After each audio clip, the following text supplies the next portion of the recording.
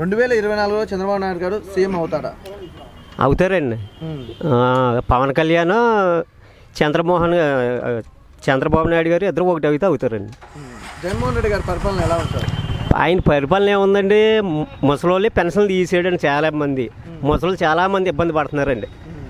డెబ్బై సంవత్సరాలు ఎనభై సంవత్సరాలు అరవై సంవత్సరాలు ఉన్న వాళ్ళు ముసలోళ్ళు అందరూ కూడా చాలా మంది తీసేయడండి.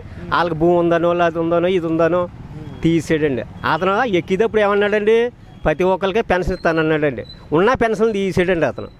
నిరుద్యోగులకి చంద్రబాబు నాయుడు గారి వల్ల మంచి జరిగిందా? లేదంటే జగన్మోహన్ రెడ్డి గారి వల్ల మంచి జరిగిందా?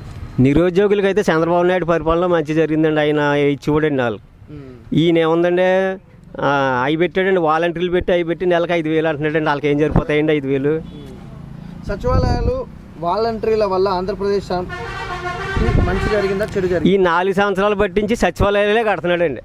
అంతగా ఏమీ లేదండి. అవి కూడా ఇంకా పూర్తి అవ్వలేదండి సచివాలయాలే సచివాలయాలనే నాలుగు సంవత్సరాల బట్టి నుంచి అయ్యే కడుతున్నాడండి.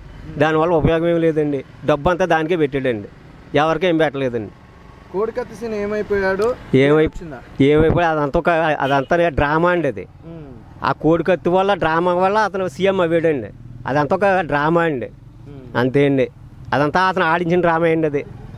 ఇండియాలోనే డబ్బున్న సీఎం జగన్మోహన్ రెడ్డి గారు అంటారు. దానికి మీరేమంటారు వాళ్ళ బాబు సీఎం అయిన తర్వాత ఇతను ఒక సంపాదించుకున్నాడండి. దాన్ని బట్టి ఇతను ఒక సీఎం అయ్యాడు ఆ సీఎం అవ్వలేడు. డబ్బు సంపాదించుకోవడానికి ఏముందండి? బోల్డ్ సంపాదించుకోవచ్చు.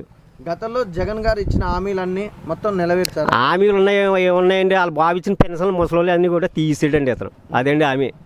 వాళ్ళ వాళ్ళ నాన్నగారు ఇచ్చాడండి అప్పుడు. వాళ్ళ నాన్నగారు ఇచ్చిన పెన్షన్లు శుభ్రంగా తీసి పారేసాడండి ముసలి టీడీపీ హయాంలో అన్న క్యాంటీన్ అనేది ఉండే. అవునండి బాగుండేదండి అది. అది లేబర్కి లేని వాళ్ళకి మొత్తం అందరికీ కూడా ఇల్లు ఐదు రూపాయలు పెట్టి భోజనం చేసేవారు. అది అలా ఉండిచ్చి వాళ్ళ వాళ్ళ నాన్నగారి పేరు పెట్టుకుంటే బాగుండండి. మొత్తానికి తీసేయడండి. ఆ తీసేయడం వల్ల లేబర్ చాలా మంది ఇబ్బంది పడుతున్నారండి. అది ఉంటే చాలా బాగుండండి. రాబోయే ఎలక్షన్లో చంద్రబాబు నాయుడు గారు జగన్మోహన్ రెడ్డి గారు పవన్ కళ్యాణ్ గారు ఎవరు సీఎం కావాలనుకుంటారు నాకైతే పవన్ కళ్యాణ్ అయితే బాగుంటుందని ఉందండి. ఏంటండి ఆయన ఇప్పటికే చాలా మందికి చాలా మేలు చేసాడండి అతను. ఏమీ లేకుండా ఏ పదవి లేకుండానే అతను అంత చేస్తే అవిన తర్వాత ఇంకా ఇంకా ఎక్కువగా చేసే అవకాశాలు నేను అనుకుంటున్నానండి అంటే పవన్ కళ్యాణ్ గారు పొత్తుతో వస్తే బాగుంటుంది అనుకుంటారా లేకపోతే విడిగా వస్తే బాగుంటుందా? వీడికే కాదండి ఇద్దరు కలిసి వస్తే బాగుంటుందండి. ఇద్దరు కలిసి వస్తే చంద్రబాబు నాయుడు గారు పవన్ కళ్యాణ్ గారు విడి ఇదిగా విడిగా కాకుండా కలిసి వస్తే జగన్మోహన్ రెడ్డి గారికి ఎన్ని సీట్లు రావచ్చు అనుకుంటారు రావచ్చండి ముప్పై ముప్పై సీట్లు రావచ్చండి. Sir okay sir thank you okay sir.